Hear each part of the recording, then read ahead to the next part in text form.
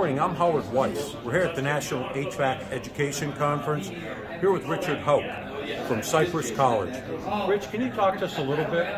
What made you, as the first two-year school associated with MSA Connect, decide to work with MSCA? And can you tell us a little bit more about who they are? Okay, well, anyway, uh, for me, it's really a no-brainer.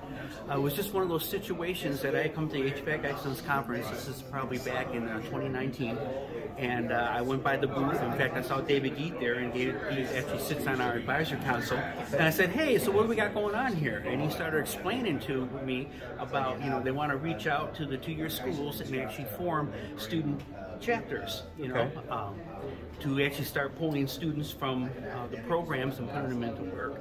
And I just looked at them and says, like, well, where have you been all these years? Okay, because this is something that we need really bad. And I see the value of actually having um, local contractors partner with the school. And uh, like I say, to me it was a no-brainer. We had to go do this right away. And I have to say that, you know, after I kind of said, hey, sign me up, let's go do it, uh, doors really opened up. And it was a really easy process for us to get our student charter. And like I say, you know, even though we had the student charter through the Great Futures program, through the MCAA, we are really uh, affiliated in with the MSCA, which is the Mechanical Service Contractors Association. So it's a little different slant than basically what MCAA has. So being the first two-year school in the program, uh, it's maybe a little bit of a pilot program at this Okay. point in time. Uh, I don't want to say we're the guinea pigs, but we're the guinea pigs really comes right down to it. Um, but I have to say, at this moment, um, it's, it's fabulous, okay? So can I ask you a quick question, though?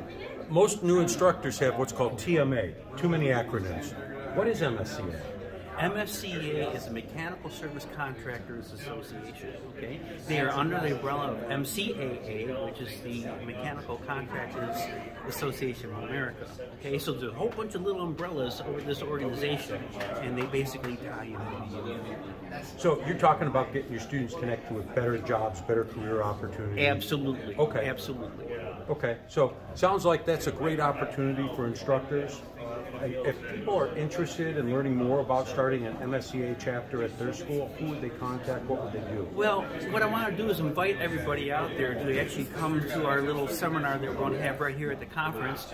Actually, it's the last uh, uh, event of the uh, conference on Wednesday afternoon. I think it's like about uh, 4:30 or 4:45? Yeah, about that area, somewhere in there. Please come and, and sit down and talk to us. I'm more than happy to sit down and talk to anybody who's interested in doing this.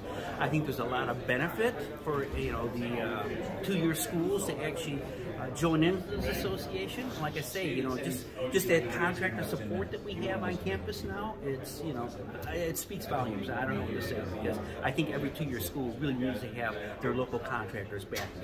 Well, I appreciate it, and I hope you have a great time at the All right. conference. Rick. Thank you. Thank you, sir. Thank you.